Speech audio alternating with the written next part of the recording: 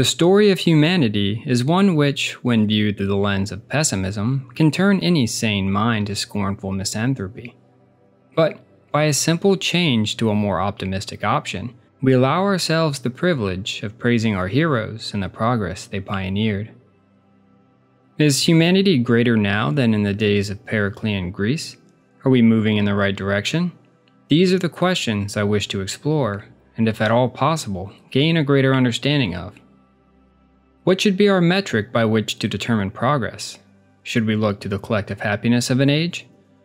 No. While it is shown to be more abundant where health and wealth are present, it seems to have an inverse relationship with intelligence.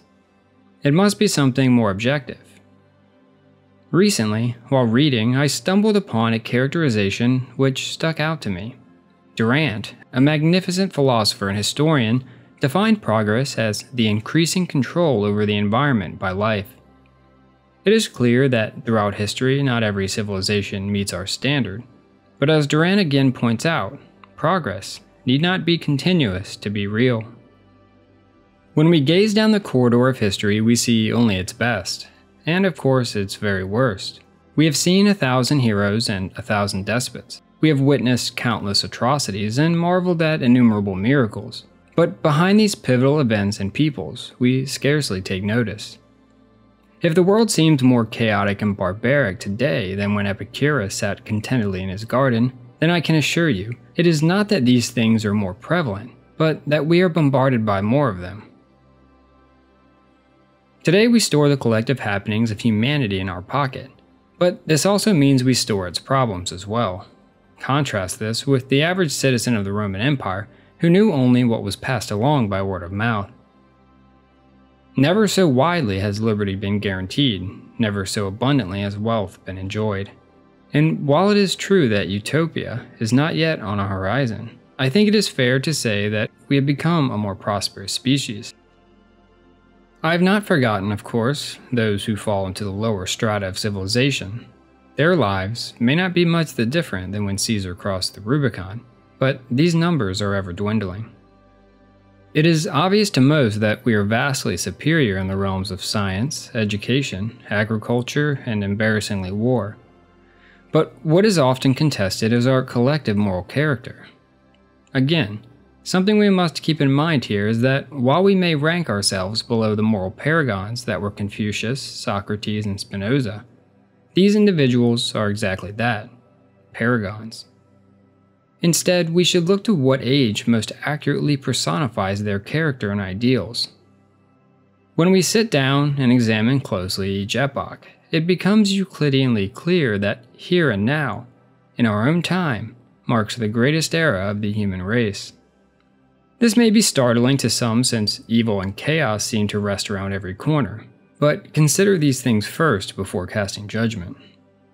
Crime is falling. While it may seem the contrary, it is only because we have greedy rogues cashing in on the world's suffering.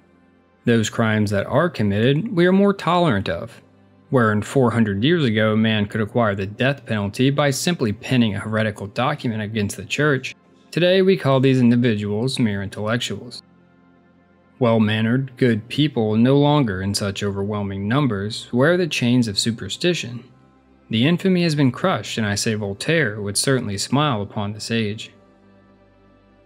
In the Western world, our women enjoy an equal freedom with our men, as they always should have. Consequently, this has doubled the amount of geniuses available to the world. Looking at these things, it is easy to see our moral progress. But as these tired old problems fade away, new issues are ever rising from their ashes. The science, which has saved billions of lives, has also produced weapons capable of destruction on a level which would make the Mongol conquering of East China look like a child kicking over a sandcastle.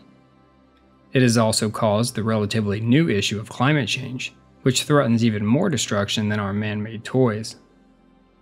The progress of the developed countries leaves the door open for exploitation of the developing. Advances in healthcare and poor sex education have caused a population problem, which, if gone unchecked, can have and already is having devastating consequences. With all of this being said, I have hope for the future of our kind this may be unfashionable in our day, but we have faced crises before, and the human race has survived. As for me, I will do my best to contribute to this progress, and can only hope those around me do as well. Tell me your thoughts on the progress of the human species in the comments below. And as always, thank you for talking philosophy with me. Until next time.